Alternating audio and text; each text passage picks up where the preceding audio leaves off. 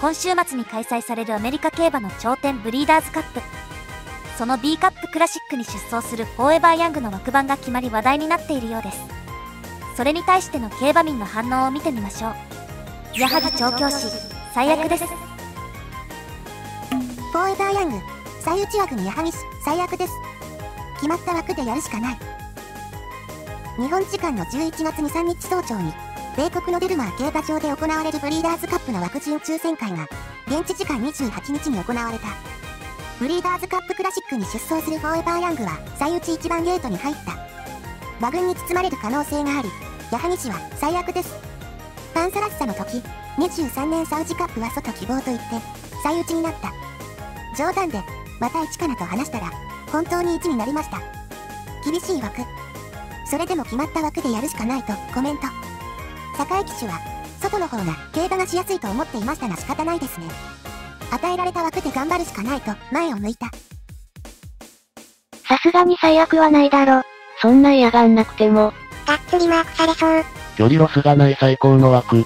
負けが許されない枠。スタートうまくいけば先行できるし、絶好枠なんじゃないかエバヤンはスタート遅いからな。最悪の枠引いてしまった。ゲートでの悪い馬なら最悪の枠。日本最強のダート馬がその程度でガタガタ言うな。新エンペラー凱旋門賞12着。やはり調教師答えが出ない。もう倒れそうだよ。フォーエバーヤング1番ゲート。やはり調教師最悪です。厳しい枠。それでも決まった枠でやるしかない。本当に倒れるんじゃないのか。やはりの血圧が真っ赤。アメコーにやられたな。エヴァヤン潰しが露骨。どの枠でも勝てないし同じだろ。どうせで遅れたら負けるんやから内枠でこうスタート祈っとけ。ゲート悪いしどの枠でも一緒じゃね。逆にゲート出れば最内でも大丈夫だろ。どの道エバヤンは勝てないだろ。日本馬で世界の頂点に立てるのはウシュバ。ウシュバも無理だろ。日本馬は無条件で全切りできそう。過去の枠番ごとの勝率見ると外よりはマシだと思うけどな。出遅れたらきついのは中枠でも同じ。外よりはマシだとは思う。元から期待値低い2頭がいい感じの枠なのがさらにあれだけど。逃げりゃいいじゃん、境だし。牛場と外掛け仲良く横になっていい枠じゃん。これは煙幕でもなんでもなく間違いなく最悪。雨馬は点が早いから包まれるの確定。無理にアメリカのペースに合わせるより、ケンタッキーみたいに後ろから行った方が勝機あると思うよ。後ろから行ったら末足勝負では牛場には勝てない。どの枠でもマークされるやろ。UAE ダービーの時点で直線速度だとセニョールやウシュバより速いってハンデキャッパーに言われてたから、末足の最大値的な意味だとそうでもないとは思う。腹くくって逃げるつもりで行けばいい。もっと速い馬いるから結果的に好意の因を取れるし、万が一鼻切れちゃったらそのまま行けばいいし。最初から言い訳できてよかったじゃん。前走の競馬が生きるだろ。日本馬は馬券内来たことないコースだからな。デルマーはスタートして1コーナーまでかなり長いから、スタートが遅くて二の足は割と速いフォーエバーヤングはこの最内さえ引かなければポジション取れる競馬場だったのに。陣営もそのつもりだっただろう。妹のラチェットにゲートの出方教えてもらえ。エヴァヤンさん、4着牛場ともう1頭が2桁着順くらいかな。これで勝てたらガチで伝説になるな。最内が明確に有利だから喜んでるよ。そんなたびたびマルシュロレーヌみたいな幸運が舞い込むわけない。正直なんでジョッキー、外人に変えんのだろ？境がどうのこうのよりやっぱ乗り慣れてる現地のジョッキー使う方が勝つ確率は上がるんじゃない？日本人騎手で勝った方が人気出ると思ってるんだろう。藤田のインタビューで日本の競馬を盛り上げるために、海外は応援しやすいように日本人騎手でって話してた。他にも目のある若い騎手を使うチャンスがあれば使うとも。最悪というほどでもない。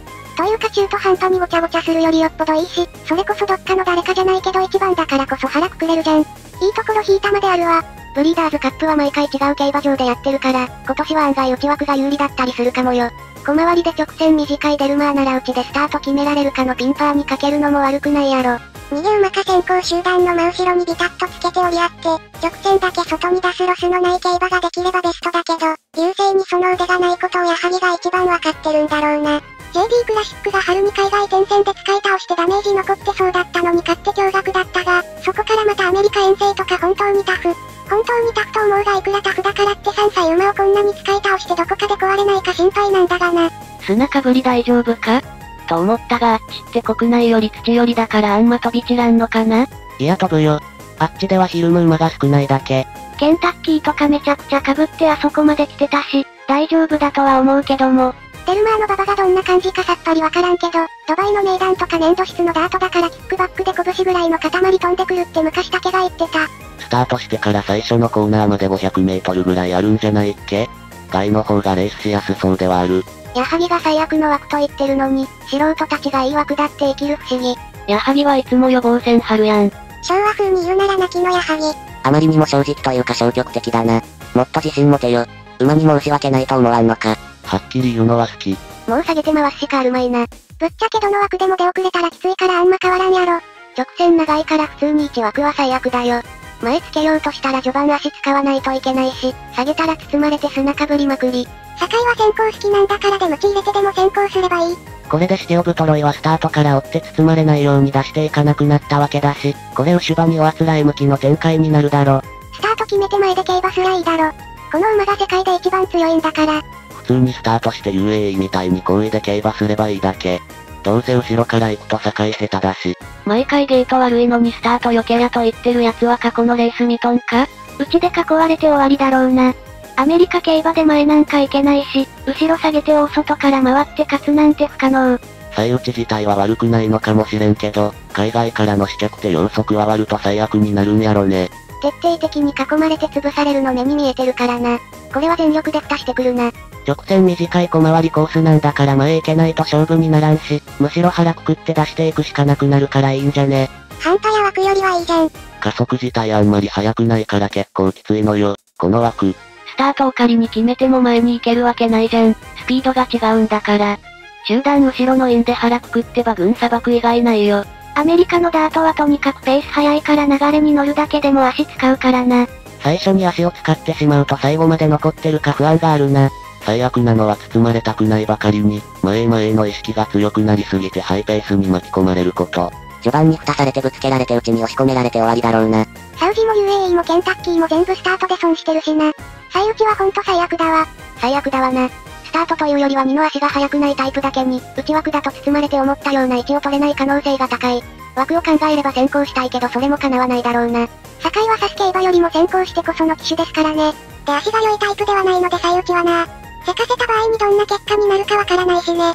境は枠がどうのこうの言う前に、まずは発馬を決めることですな。いや、絶好枠だね。矢作は負けた時の予防線張ってるだけ。フォーエバーヤングという馬の個性から最打ちは最悪ってだけ。この枠だと包まれないためには出していくしかないけどそういう馬じゃない。かといってケツまで下げてでは届かない。矢作が最悪っていうのも当然だよ。今回は以上です。よかったらチャンネル登録と高評価お願いします。ご視聴ありがとうございました。